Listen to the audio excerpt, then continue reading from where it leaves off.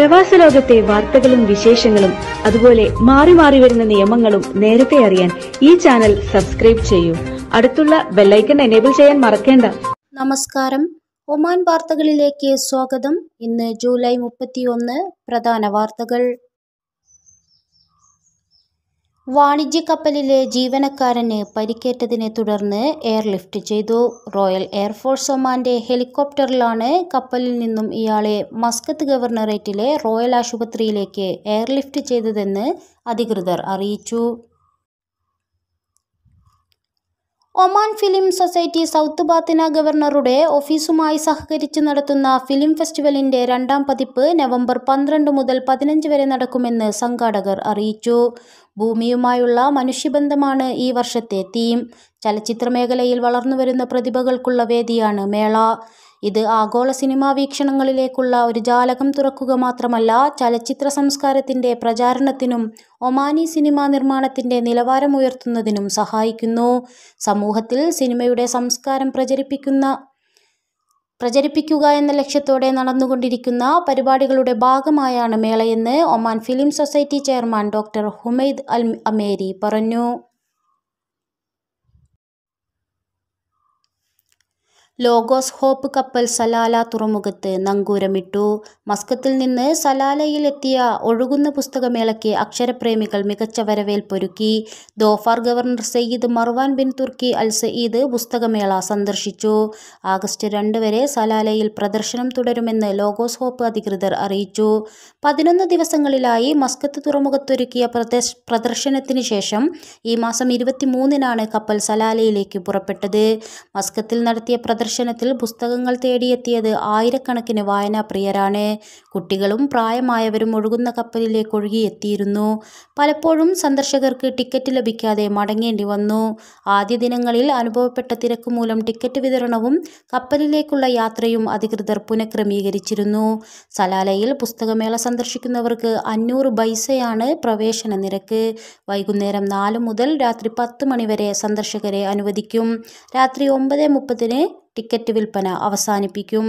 പുതിയ ശീർഷകങ്ങളുടെ ഒരു വലിയ ശേഖരത്തോടൊപ്പം കൂടുതൽ പുസ്തകങ്ങളുമായാണ് കപ്പൽ സലാലയിൽ നങ്കൂരമിട്ടിരിക്കുന്നത്.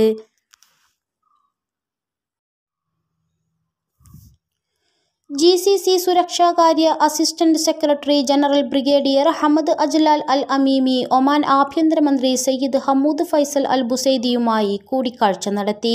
സംയുക്ത ജി സി സി സുരക്ഷാ പ്രവർത്തനവുമായി ബന്ധപ്പെട്ട നിരവധി വിഷയങ്ങളും സഹകരണം വർദ്ധിപ്പിക്കുന്നതുമായി ബന്ധപ്പെട്ട ചില കാര്യങ്ങളും ഇരുവരും ചർച്ച ചെയ്തു. ചുമതലകൾ നിർവഹിക്കുന്നതിൽ വിജയിക്കട്ടെ എന്ന് അൽ ബുസൈദി ആശംസിക്കുകയും ചെയ്തു.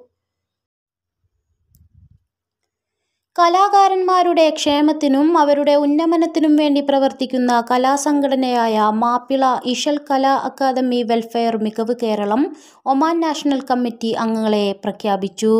നാഷണൽ പ്രസിഡന്റായി സിറാജ് കാക്കൂരിനെയും ജനറൽ സെക്രട്ടറിയായി റിയാസ് വലിയകത്തിനെയും തിരഞ്ഞെടുത്തു. മികവ് കേരളം സംസ്ഥാന president Nizam Ali general secretary Hamsa Kunnatheri Oman national കമ്മിറ്റിയുടെ ചുമതലയുള്ള എറണാകുളം ജില്ലാ സെക്രട്ടറി അഷറഫ് കോട്ടപ്പുറം തുടങ്ങിയവർ അറിയിച്ചു. പുതിയ തൊഴിൽ നിയമം ഒമാനികൾക്ക് കൂടുതൽ അവസരങ്ങൾ സൃഷ്ടിക്കുമെന്നും വിദേശ നിക്ഷേപകർക്ക് രാജ്യത്തെ കൂടുതൽ ആകർഷകമാക്കുമെന്നും സാമ്പത്തിക മന്ത്രാലയം under secretary doctor Nasser bin Rashid Al Maawali പറഞ്ഞു. നിയമം ബിസിനസ് അന്തരീക്ഷം മെച്ചപ്പെടുത്തുകയും വിപണിയിലെ മത്സരക്ഷമത വർദ്ധിപ്പിക്കുകയും നിക്ഷേപം ആകർഷിക്കുകയും ചെയ്യും. നിക്ഷേപവും ജി ഡി പി അനുപാതവും ഇരുപത്തിയേഴ് ശതമാനമായി ഉയർത്തുമെന്നും സ്വകാര്യ മേഖലയുടെ സംഭാവന മൊത്തം നിക്ഷേപത്തിന്റെ അറുപത് ശതമാനമായി ഉയർത്താൻ സഹായിക്കുമെന്നും അദ്ദേഹം പറഞ്ഞു. അന്താരാഷ്ട്ര സൂചകങ്ങളിൽ ഒമാന്റെ റാങ്കിംഗ് വർദ്ധിപ്പിക്കുകയും രാജ്യത്തിന്റെ സാമ്പത്തിക വളർച്ചയുടെ വേഗത നിലനിർത്താൻ സഹായിക്കുകയും ചെയ്യും. രാജ്യത്തെ തൊഴിൽ വിപണിയുടെ ആവശ്യങ്ങൾ അഭിസംബോധന ചെയ്യുന്നതിനും ഇന്റർനാഷണൽ ലേബർ ഓർഗനൈസേഷന്റെ അടിസ്ഥാന തൊഴിൽ മാനദണ്ഡങ്ങൾക്കനുസൃതമായും ആണ് പുതിയ തൊഴിൽ നിയമം രൂപകൽപ്പന ചെയ്തിട്ടുള്ളത്. സ്ത്രീകളെ സാമൂഹികമായും സാമ്പത്തികമായും ശാക്തീകരിക്കുന്ന നയങ്ങളും നിയമനിർമ്മാണങ്ങളും മനുഷ്യാവകാശ തത്വങ്ങൾക്ക് അനുസൃതമാണെന്നും ഡോക്ടർ നാസർ അൽ മഹ്വലി പറഞ്ഞു.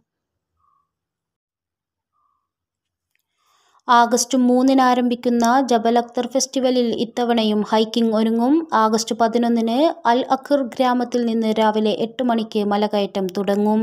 താക്കിലിയ ഗവർണറുടെ ഓഫീസുമായി സഹകരിച്ച് അൽ സുമൂദ് അഡ്വഞ്ചേഴ്സ് ടീമാണ് ഹൈക്കിംഗ് സംഘടിപ്പിക്കുന്നത്.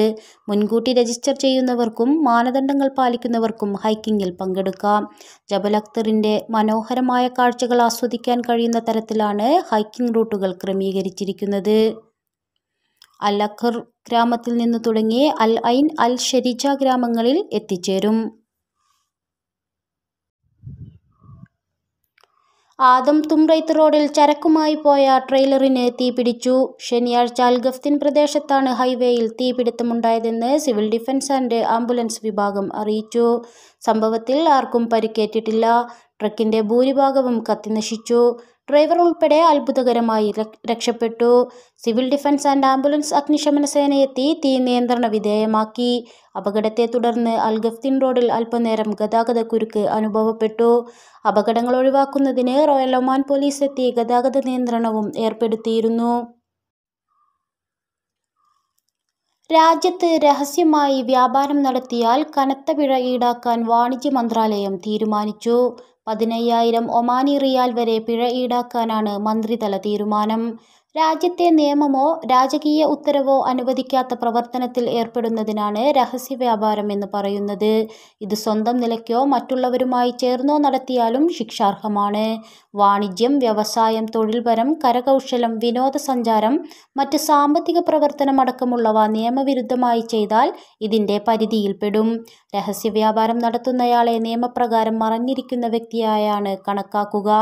രഹസ്യ വ്യാപാരം സംബന്ധിച്ച് റിപ്പോർട്ട് ചെയ്യാനും കേസുകൾ കുറയ്ക്കാനും ജനങ്ങളെ പ്രോത്സാഹിപ്പിക്കുന്നതിന് മന്ത്രാലയം പരസ്യവും മറ്റും നടത്തും. നടപടികൾ സ്വീകരിക്കാൻ മന്ത്രാലയത്തിന് അവകാശമുണ്ട്. ഓരോ രഹസ്യ വ്യാപാരത്തിന്റെയും പ്രകൃതവും വലുപ്പവും പരിഗണിച്ചാണ് മന്ത്രാലയം നടപടികൾ കൈക്കൊള്ളുക. രാജ്യത്തെ നിയമവും രാജകീയ ഉത്തരവും വിലക്കുന്ന ഒരു പ്രവർത്തനത്തിലും പ്രത്യക്ഷമായോ പരോക്ഷമായോ ഒരാളും ഏർപ്പെടരുത്. മറിഞ്ഞിരിക്കുന്ന വ്യക്തിയുടെ പേരിലോ അദ്ദേഹത്തിന്റെ വാണിജ്യ രജിസ്ട്രേഷനോ അദ്ദേഹത്തിന് നൽകിയ ലൈസൻസോ മറ്റേതെങ്കിലും രീതിയോ ഉപയോഗിച്ച് രഹസ്യ വ്യാപാരം നടത്തരുത്. ഖരീഫ് കാലത്ത് ദോഫാറിന്റെ വിവിധ ഭാഗങ്ങളിൽ പ്രവർത്തിക്കുന്ന അനധികൃത ഭക്ഷണശാലകൾക്കെതിരെ നടപടിയുമായി ദോഫാർ നഗരസഭ. ആരോഗ്യ സുരക്ഷാ മാനദണ്ഡങ്ങളും നിയമപരമായ ആവശ്യകതകളും കർശനമായി പാലിക്കുന്നുണ്ടെന്ന് ഉറപ്പുവരുത്തുന്നതിന്റെ ഭാഗമായാണ് പരിശോധനയും പ്രചാരണങ്ങളും ഉൾപ്പെടെ നടത്തുന്നത്. മാനദണ്ഡങ്ങളിൽ വീഴ്ച വരുത്തുന്ന സ്ഥാപനങ്ങളും വെടിമരുന്ന് പ്രയോഗം പോലുള്ള സുരക്ഷിതമല്ലാത്ത രീതികൾ പ്രയോഗിക്കുന്നവരും നടപടിക്ക് വിധേയരാകും. ഇത്തരക്കാരെ ഒഴിവാക്കുകയും ചെയ്യും.